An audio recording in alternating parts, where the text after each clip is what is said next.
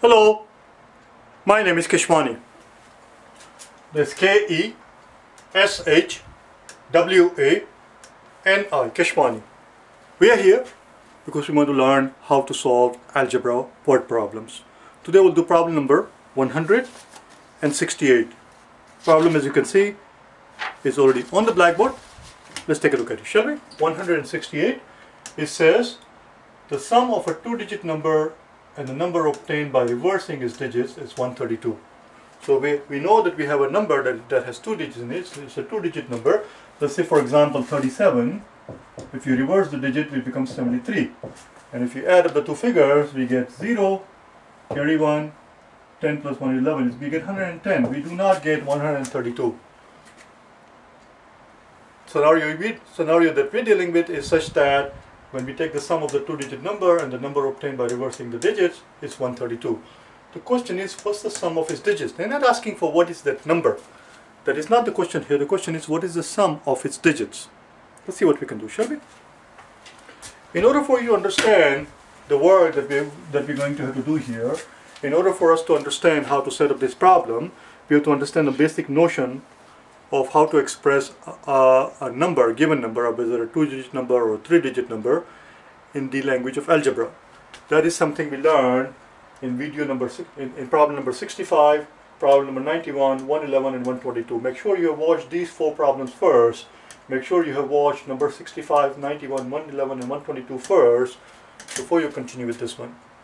Again, what we have to understand is how do we express a notion of a two-digit number for example, for example, if we have a 73, how do we express that, uh, that number in the language of algebra? But 7 represents the 10 digit and 3 represents the unit digit. So do we just represent as TU? The answer is no. Because in the language of algebra, if t represents some unknown quantity and u represents some unknown quantity, if you say tu, in the language of algebra, this is just t times u. That's not what we meant here. How do I express 72? Well, the way we do that, which is what we learned in number 65, the very first one problem that we did in the 91, what we learned is that 73, 73 is so called because it tells us how many tens we have. 73 has 7 tens and it tells us how many unit digits we have. We have 3 unit digits. 73 has 7 tens and 3 ones. Now we can express this thing with the, with the variable t and the u. t represents the tens digit tens digit and u will represent the unit digit. And how many tens do we have? We have 7 tens. So it's going to be 7 times, well rather not 7 times, that's the unknown quantity, we don't know what it is.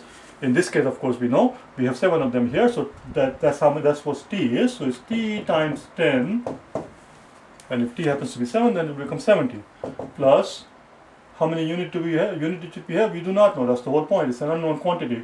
So it's u times 1, which is just u. And finally, we represent this t times 10 would be written as 10t plus 1 times u will simply be u, and there is your two-digit number. We represent a notion, an idea, a concept of a two-digit number in the language of algebra by using the unknown quantity t and u, t being the 10 digit and u being the unit digit like this. They go on to tell us that when we reverse the digits and we take the sum of the two quantities is 132. If we were to reverse the digits, what would happen is that whatever the 10 digit was will become the unit digit and whatever the unit digit was will appear in the 10 digit part, so it's going to be u times 10. This is the reverse scenario. And when we add up these two quantities, we get 132. Let's do it now on the top. So the original quantity that we have is 10 times t plus the u and when we reverse the digits it becomes this. 10 times u plus t and we are told that if we take our original number and, and, and we add it to the number that we obtained by reversing the digits the sum is 132 and that's all. The rest is very simple. The rest is piece of cake. The rest is very simple. Very straightforward. We can end up with 10t plus a t going to be 11t and a u times a 10u would be 11u equals 132. Divide this entire equation by 11 and we'll find that t plus u will be 132 divided by 11 and let, us divide it, shall we? We're going to divide 132 by 11. How many 11 does 132 have? How many 11 does 132 have? The hell do I know? Let's find out, shall we? How many 11s? How many 11s does one have? One has no 11s. One has no 11s. One is too puny to have any 11s. That one goes and joins the 3 becomes 13. How many 11s does 13 have? 13 has one 11. 13 has one 11. After we take away 11 from the 13, we have a remainder of 2. The remaining 2 goes and joins this 2 and becomes 22. And 22 has two 11s. There we go. The answer question was, what is the sum of the digits? The answer is, the sum of the digits is 12. That's it. We're done. That's all there is.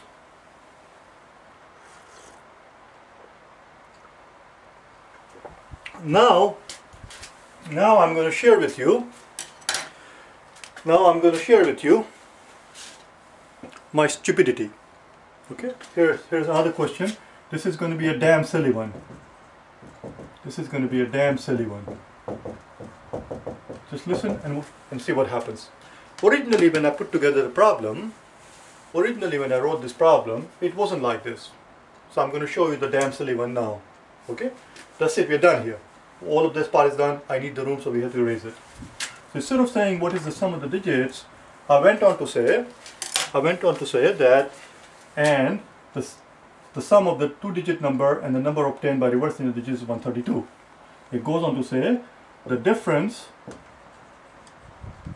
the difference of the tens digit, I need the room,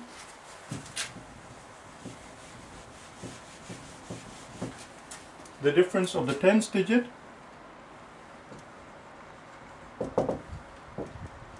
and the unit digit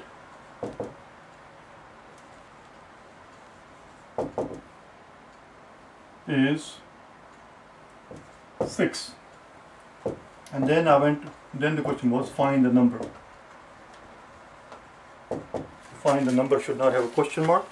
Find the number that's it. That's that's how I put together that's how I put together the question originally. And then it occurred to me afterwards that uh, this will be a damn silly thing to ask. Do you know why? Can you tell why this will be a silly question? This is no longer an algebra question. It becomes a very simple, very straightforward question. Do you know why? Because what I'm thinking is that, again, this is something will occur to a lot of people. What I'm thinking is that most people will not bother with doing the algebraic work that we did before. Most people will not bother with that. They will concentrate on the second part first. We are told that the difference of the two digits is 6.